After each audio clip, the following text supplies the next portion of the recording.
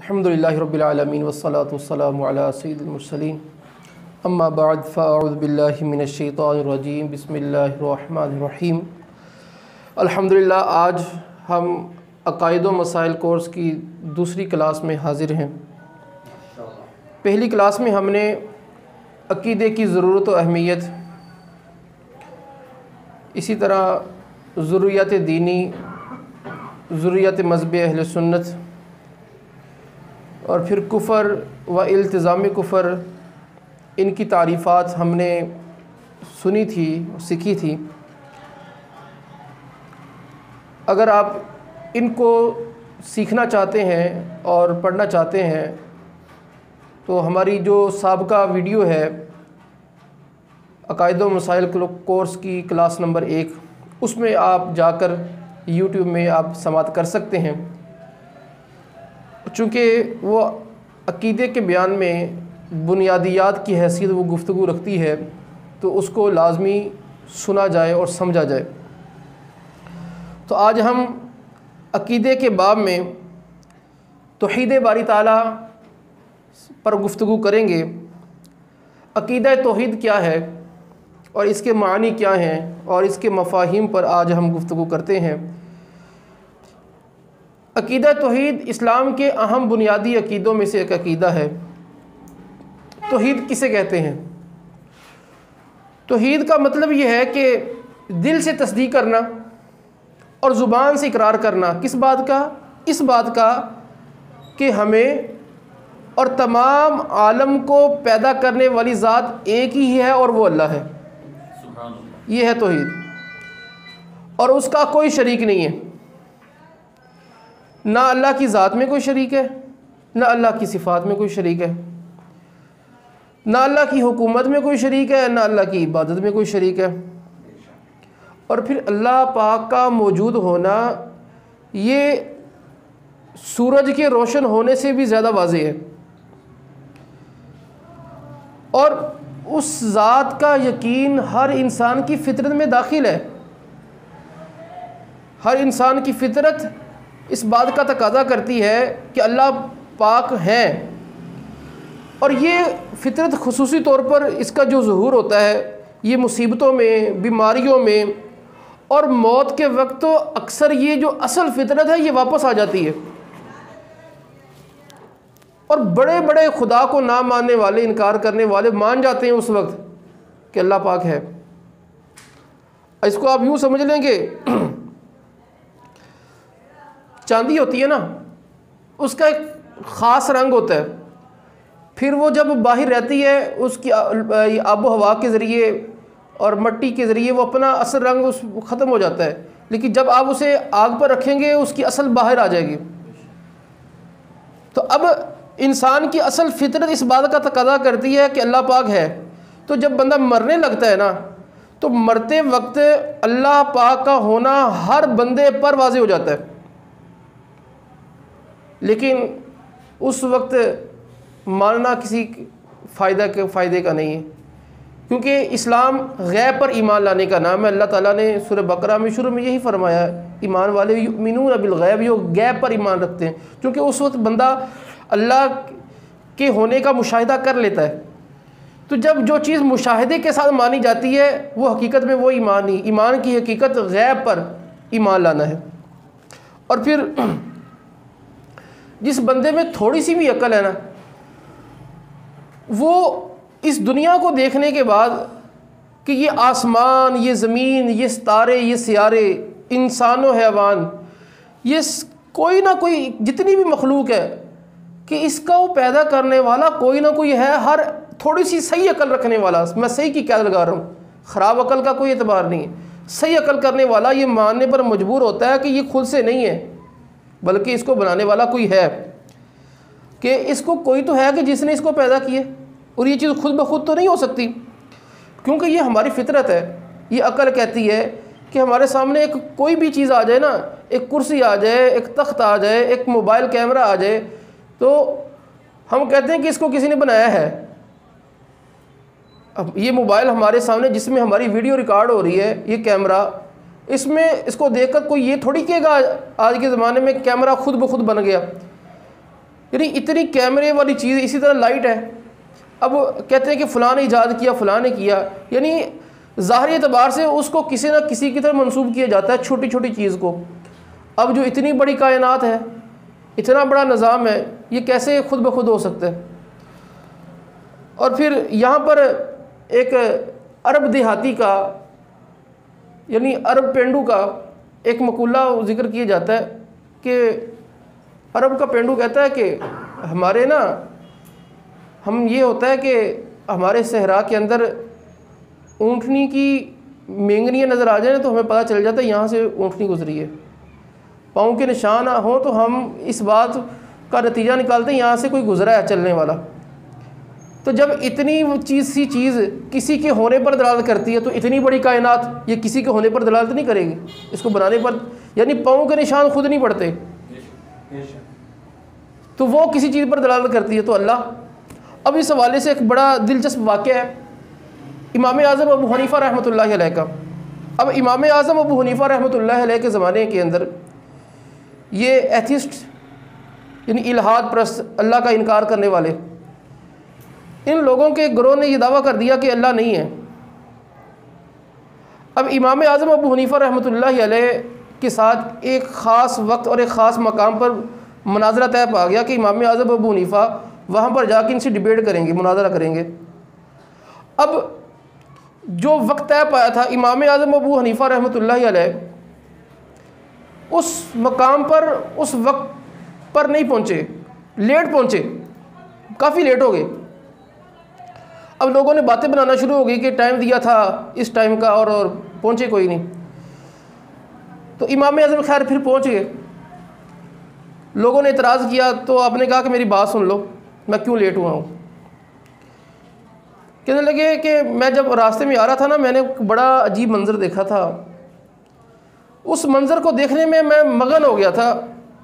वो देखता रहा, जिस वजह से ना मैं लेट हो गया। कहते, क्या देखा आपने? कहते मैं जब दरिया के करीब पहुँचा, मैंने देखा कि ना, दरिया के किनारे एक दरख्त है, वो ज़मीन से टूटता है, वो उसके, वो आप कट जाता है, उसके तख्ते बन जाते हैं खुद ब खुद, और फिर तख्ते बनने के बाद वो कश्ती बन जाती है, और कश्ती, खुद ब खुद कश्ती बन गई, और कश्ती बनने के बाद उसने दरिया में तैरना शुरू कर दिया, कहते मैं ये मंजर देखता रहा और लेट हो गया। लोगों ने कहा तुम कि गल कर दो इदा हों ये कैसी बात कर रहे कि खुद एक दरख्त टूटिया और फिर उसके तख्ते बन गए। और तख्ते बनने के बाद कश्ती बन गई। इमाम आज़म मुनीफ़ा रहमत ला कहने लगे, मैं तुम्हें यही कहना चाहता हूँ, जब एक कश्ती खुद नहीं बन सकती तो ये कायनात खुद कैसे बन गई? तो ये इमाम आज़म हनीफ़ा रहमत ला ने वहाँ पर ईमान को, लोगों के ईमान को मज़बूत किया और उनसे ये मुनाजरा जीत गए। तो एक खुली निशानी है। यानी एक सीधी सी बात है। ये नहीं हो सकता कि एक छोटी सी चीज़ हमारे बनाए ना बने तो इतनी बड़ी किसी के बनाए बन जाए। तो यकीनन ये रात दिन का इख्तलाफ, ये कायनात के अंदर एक मखसूस किस्म पर यह सूरज है, चाँद है। अब इसकी सदियों से एक ही डगर है, एक ही रास्ता है, एक ही वक्त है। वो कौन सी ताकत है कि जिसने इस सूरज को एक ही रास्ते पर चलाया हुआ है? चाँद को एक ही रास्ते पर चलाया हुआ है। अब जो हमारा कैलेंडर होता है, सूर्य निकलने का और सूर्य के गुरूब होने का, ये तो एक ही होता है। आज से हज़ार साल पहले जिस वक्त में सूरज गुरूब होता था, आज भी उसी वक्त में होता है। ठीक? जिस एंगल पर हज़ारों साल पहले था, आज भी उसी पर है।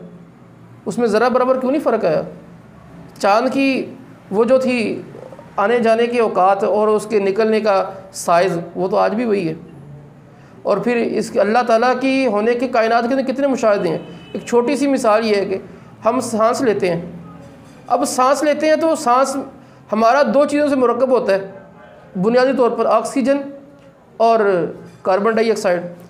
अब हवा, के अंदर कार्बन डाइऑक्साइड और ऑक्सीजन की दोनों का एक ख़ास मकदार है। अब इन दोनों में से कोई भी एक आगे पीछे हो जाए तो सांस लेना मुश्किल हो जाता है।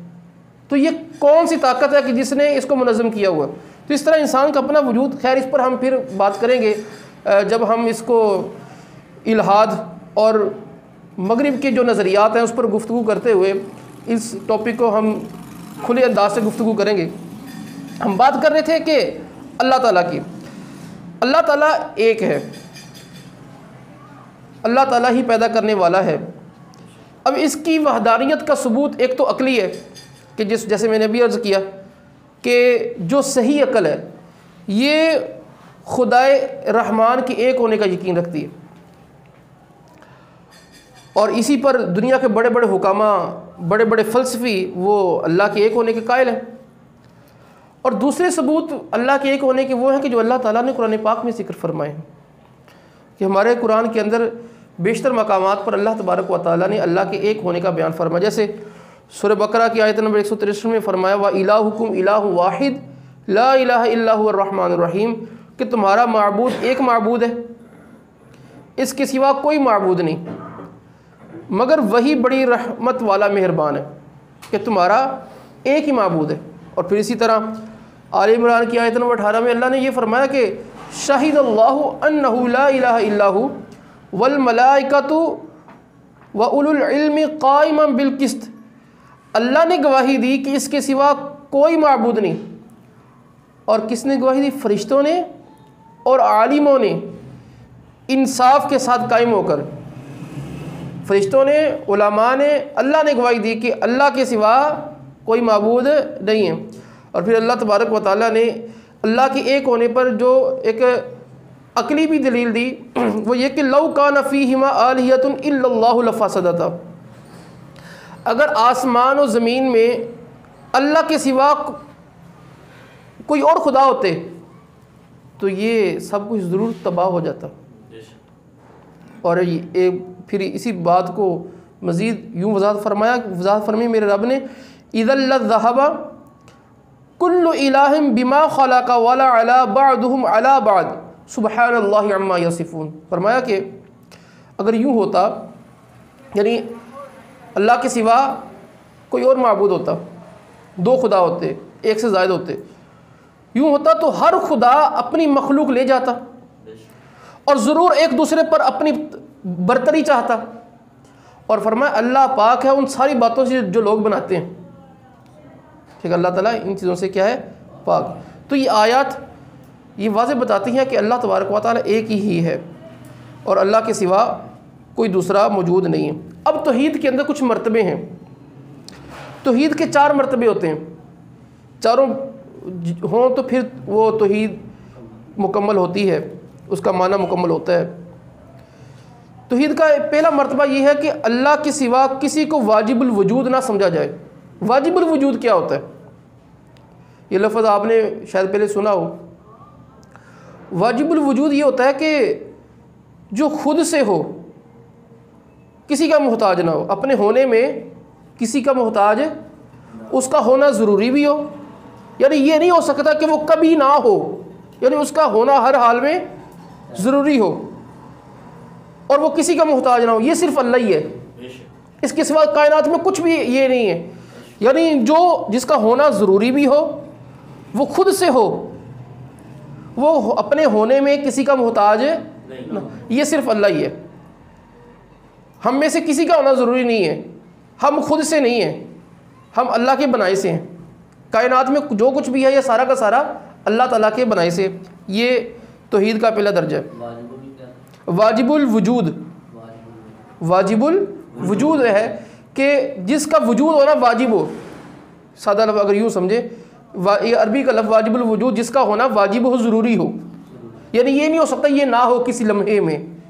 यानी कोई भी लम्हा कोई भी वक्त ऐसा नहीं हो सकता। फिर दूसरी बात तोहीद में दूसरा मरतबा ये होता है कि तमाम रूहानी और मादी आलम एक होता है आलिम आलिम कहते हैं जानने को आलम कहते हैं कि अल्लाह के सिवा जो भी चीज़ उसे आलम कहते हैं।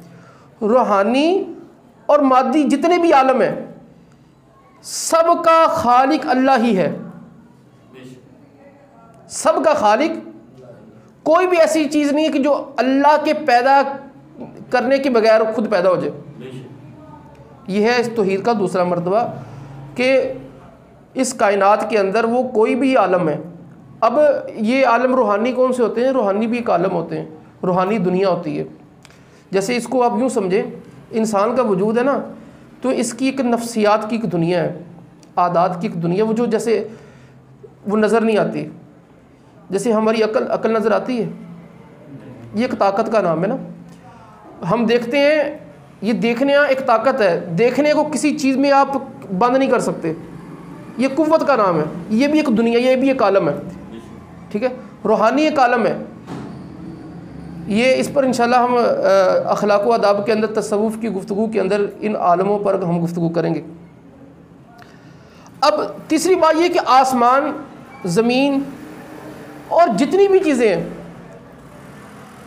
तमाम चीज़ों की तदबीर और जो तसरफ़ का वाहिद मालिक अल्लाह ताला ही है। ये उसी के साथ मखसूस समझना ये तोहीद में ज़रूरी है। यानी अल्लाह के निज़ाम जो चल रहा है, जो कुछ हो रहा है, ये इसमें असल जो हुकूमत कार फरमा मेरे रब की है। अल्लाह के मुकाबले में किसी की नहीं है। जो ज़ाहरी हुकूमतें हम देखते हैं, या हम अपना इख्तियार देते हैं, या अल्लाह की अता करने से है। ठीक है, अल्लाह चाहे तो ले ले। और फिर चौथी बात कि अल्लाह के सिवा किसी को मुस्तक के इबादत ना समझना, ये तोहीद में ज़रूरी है। यानी अल्लाह ख़ुद से है, किसी का मोहताज नहीं है। सब कुछ ही अल्लाह ने पैदा किया है। ठीक है? सब कुछ की तदबीर रबी फरमाता है, और अल्लाह के सिवा किसी की इबादत भी नहीं करनी। ये चार चीज़ें मिलकर तोहहीद बनती है। अच्छा फिर अल्लाह ताला के ज़ाती और सिफाती नाम क्या हैं? ठीक है? ये भी तोहहीद के बाब में ये बात की जाती है। अल्लाह ताला का जो ज़ाती नाम है ना, वो सिर्फ़ अल्लाह है। अल्लाह का ज़ाती नाम क्या है? अल्लाह है। इसी को इसमें ज़ात भी कहते हैं। और अल्लाह के सिवा वो नाम जिसमें अल्लाह ताला की सिफत का बयान होता है तो उसे सिफाती नाम कहते हैं। अब ये कि अल्लाह के सिफाती नाम कितने अब इसके नाम बेशुमार हैं। हदीस मुबारक में अल्लाह ताला के निन्यानवे नाम ज़िक्र किए गए। और इस हवाले से ये फरमाया गया कि जिसने ये याद कर लिए, वो जन्नती है। ये फ... हम नियत करते हैं कि हम अल्लाह ताला के निन्यानवे नाम याद करेंगे। अब सवाल ये होता है कि अल्लाह के इन निन्यानवे नामों के अलावा भी किसी नाम से रब को पुकार सकते हैं? अल्लाह के निन्यानवे नामों के अलावा क्या अल्लाह को पुकार सकते हैं? ये बड़ी अहम बात है। इसका असूल क्या है? यानी एक तो हो गया ना नानवे नाम और अल्लाह का नाम हो गया। इसमें असूल ये है, ये असूल याद रखेंगे तो इसको मतलब तहकीक के बाद जवाब तलाश कर लेता है। असूल ये है कि जो नाम अल्लाह का कुरान हदीस में आया है ना, उसके अलावा अल्लाह के लिए कोई दूसरा नाम नहीं बोला जा सकता। चाहे वो किसी भी ज़ुबान में हो। यानी जो नाम अल्लाह के लिए, जो लकब, जो नाम, जो सिफाती हो, जो कुछ भी हो जो कुछ भी हो वो सारा का सारा जो जो नाम आ गया सिर्फ़ वही अपने रब के लिए बोल सकते हैं। कोई दूसरा नाम खुद से नहीं बना सकते। इसकी मैं मिसालें ज़िक्र करता हूँ फिर आपको मज़ीद समझ आ जाएगी। हमारे यहाँ अल्लाह ताला को सखी कह दिया जाता है। सखी अल्लाह ताला का नाम ना तो कुरान में आया ना हदीस में आया। तो अल्लाह को सखी कहना जायज़ नहीं है। अल्लाह ताला के लिए रफ़ीक का मतलब लफ्ज़ बोला जा, जाता है। तो अल्लाह के लिए रफ़ीक का लफ्ज़ बोलना जायज़ नहीं है। इसी तरह फिर दूसरी कौमों में ऐसे नाम होते हैं कि जिसका माना ख़राब होता है। वो भी अल्लाह के लिए जायज़ नहीं है। जैसे अल्लाह ताला को राम कह दिया जाता है, परमात्मा कह दिया जाता है। तो लोग कहते हैं, मुराद तो साड़ी अल्लाह ताला ही है ना। तो मुराद की बात नहीं है वो लफ्ज़ भी अल्लाह के लिए नहीं इस्तेमाल करना जो कुरान हदीस में नहीं है अल्लाह के लिए। इसके लिए इसलाह के लफ्ज़ बोली जाती है, अल्लाह के नाम तोकीफ़ी हैं। यानी अल्लाह ताला ने और उसके प्यारे हबीब सल्लल्लाहु अलैहि वसल्लम की तरफ़ से जो अता हो गए वही हैं। यानी हम खुद से वज़ा नहीं कर सकते। अल्लाह ताला के लिए कोई लफ्ज़। जो आगे बस वही है। ठीक है? फिर इसके बाद तोहीद के बाद में एक बात ये की जाती है कि ये जो दुनिया है, क्या ये हमेशा से है? नहीं, दुनिया हमेशा से नहीं है। एक वक्त था जब दुनिया नहीं थी। एक वक्त हुआ कि जब है। और एक वक्त होगा जब नहीं होगी। ठीक है? दुनिया हमेशा से नहीं है। और इस दुनिया को बनाने वाला और पैदा करने वाला और फिर इसको ख़त्म कर देने वाला ये अल्लाह है। ठीक है? अब फिर ये कि अल्लाह ताला ने ये सारी मखलूक बनाई इतनी बड़ी कायनात बनाई क्या अल्लाह ताला की किसी ने हेल्प कराई है? क्या किसी ने मदद करवाई है? नहीं। ये अकीदा तोहहीद के मुनाफी है। अल्लाह ताला ने सब कुछ खुद ही बनाया। अल्लाह ताला ने बनाने में किसी की मदद नहीं ली। अल्लाह ताला इस सारी चीज़ में किसी का मोहताज नहीं है। ठीक है, ये अकीदा रखना ज़रूरी है। फिर इसके बाद ये कि यहूदी और ईसाई और मुशरकिन का अल्लाह के बारे में क्या अकीदा और हमारा अकीदा, उनसे कैसे डिफरेंस ठीक है, जो यहूदी थे ना, ये हज़रत उज़ैर सलाम को और ईसाई हज़रत ईसा सलाम को अल्लाह का बेटा कहते हैं।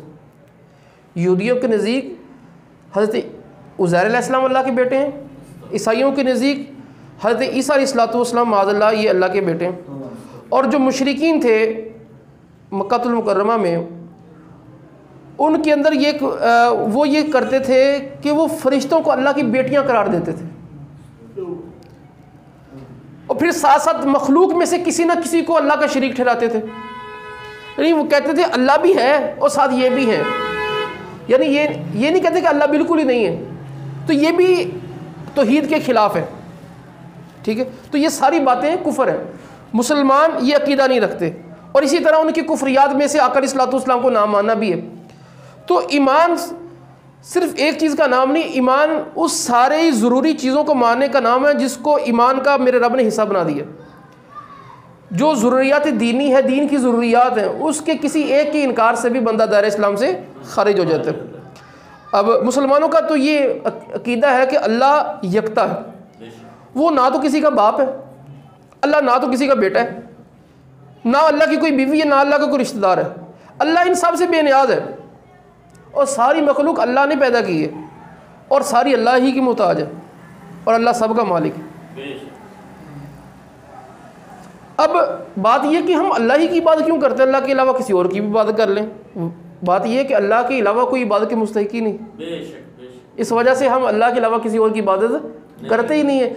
जो इबादत के मुस्तक है वो मेरे रब की ज़ात है कि जिसने हमें पैदा किया। अब आखिर के अंदर एक ज़रूरी बात करके आज के आज की गुफ्तु को हम मैं ख़त्म करूँगा। और कल अगले लेक्चर में हम अल्लाह ताला की ज़ात सिफ़ात के हवाले से कुछ गुफ्तु करेंगे। आखिरी बात यह है कि अल्लाह के बारे में ये अकीदा रखना ज़रूरी है कि मेरा रब हर कमाल खूबी का जामे है। अल्लाह ताला हर ऐब से पाक है, हर बुराई से पाक है। वो ज़ाहरी हो या बातनी हो, हर एतबार से। और कोई भी चीज़ मेरे रब के इलम से बाहर नहीं है। वो हमेशा से है और हमेशा रहेगा। अब ये बात अहम इसलिए है कि हमारे यहाँ गुफ्तगु के अंदर अशार के अंदर ऐसे जुमले अल्लाह की तरफ़ मंसूब कर दिए जाते जो अल्लाह की शान के लायक नहीं होते। अल्लाह ताला की शान के लायक नहीं होते, यानी उसमें किसी ऐब का अल्लाह के साथ ताल्लुक़ जोड़ा जा रहा होता है। अल्लाह की तरफ़ ऐसी बात मंसूब की जा रही जो घटिया होती है, जो ऐब ज़दा होती है। तो अल्लाह ऐब से पाक है। अमूमी तौर पर ये गानों के अंदर अल्लाह ताला की तरफ़ बातें मनसूब की जाती हैं कि अल्लाह भी नहीं ये कर सकता था, अल्लाह भी नहीं कर सकता फ़लाँ खुदा भी ये मुझसे नहीं ले सकता तो फ़लाँ नहीं कर सकता, इस तरह के बेहुदा और कुफ्र या कलमात, यानी फिर अल्लाह ताला की तरफ़ ऐब वाली बातें की जाती हैं। यानी जिस बात के अंदर ऐब का पहलू निकलता होगा, वो रब के लिए नहीं हो सकती। और ये कुफर होगा। जो बंदा इस कुफर को बोलेगा ठीक है, चाहे वो उसको उसके माना की तरफ़ ख्याल हो या ना हो, जब ऐसे जुमले, ऐसे कुफिया गाने, और इसीलिए कहा जाता है, और ये एक बड़ी वजह है कि अपने आप को गानों से बचा के रखें, कि गानों के अंदर ये कुफरिया जुमले होते हैं। तो बंदा जब गाने सुनेगा तो फितरत है, बंदा जो चीज़ कानों में बार बार सुनता है, उसको फिर गुनगुनाता भी है। वो शूर और लाशूर दोनों के अंदर। ठीक है? वो शूर और लाशूर दोनों के अंदर ये उसको अपने जहन में घुमाता रहता है या ज़ुबान पे उसको घुमाता रहता है। तो अब ये नहीं, ये इसका नुकसान होता है। तो इसलिए ऐसी चीज़ों के करीब भी नहीं आना चाहिए कि जो बंदे को रब की बारगाह से दूर ले जाए। तो गाने के बारे में, ये तो हदीस मुबारक में है कि ये दिल में ऐसे निफाक पैदा करता है जैसे पानी खेती को उगाती है। गाने सुनने वाले, वाला जो होता है ना, उसका दिल मुनाफा से पाक नहीं हो सकता। दिल साफ़ नहीं हो सकता, पक्की बात है। यानी गाने सुनेंगे ना तो दिल में सफ़ाई नहीं होगी। आपस में कीना और बुग्स पैदा होगा। इसका एक नुकसान वाकिया तो इसके जो हैं गुनाह, नाफरमानी है, वो तो सारी चीज़ें अपनी जगह पर हैं। लेकिन इसके जो जो नुकसान ज़ाहिर होने वाले हैं, माशरे के अंदर, वो ये है कि मुनाफ़त पैदा होती है। निफाक पैदा होता है दिल के अंदर। तो ये दिल को गंदा कर देता है। तो बंदे को कुफर की तरफ़ ले जाता है। तो लिहाजा हमें ये चीज़ें, ये नहीं करनी चाहिए। और फिर आखिर के अल्लाह ताला चूँकि पाक है, अल्लाह ताला हर कमाल खूबी का जामे। जैसे हमने कहा, हर चीज़ को अल्लाह ही ने पैदा फरमाया है। हर चीज़ को अल्लाह ने पैदा फरमाया लेकिन अगर बतौर ख़ास किसी चीज़ का ज़िक्र करना हो तो अदब यह है कि अल्लाह ताला की बारगाह में अल्लाह ताला के लिए आला चीज़ों की नस्बत की जाए। यानी जब अल्लाह ताला का तारुफ बयान किया जाए तो ये बयान किया जाए कि जिसने आसमान और ज़मीन को पैदा किया जिसने अपने अम्बिया को बड़ी बड़ी चीज़ें, आला चीज़ें, अच्छी चीज़ें, वरना तो हर चीज़ अल्लाह ने पैदा की है। तो अदब का पहलू ये है कि बतौर ख़ास जो आला चीज़ें होती हैं, वो चीज़ बयान की जाए। बाज़ बेवकूफ़ जो घटिया चीज़ें हमारे माशरे में यहाँ होती हैं, लेकिन वो एक चीज़ का ज़रूरी हिस्सा होता है पैदा करना। अल्लाह ताला ने अपनी हमत के साथ हर चीज़ पैदा की है तो ये अल्लाह की शान में बेअदबी होगी। तो इसलिए अकायद को जानना खसूस अल्लाह के बारे में ये ज़रूरी है और फिर अल्लाह ताला की ज़ात सिफ़ात के हवाले से जो ज़रूरी अकायद हम इन अज़ीज़ अगले लेक्चर में जानने की कोशिश करेंगे। तो अल्लाह तबारक व हमें अकीदे की मालूम रखने की तोफ़ी अता फ़रमाए। आमीन बिजाही नबील अमीन वसल्लम।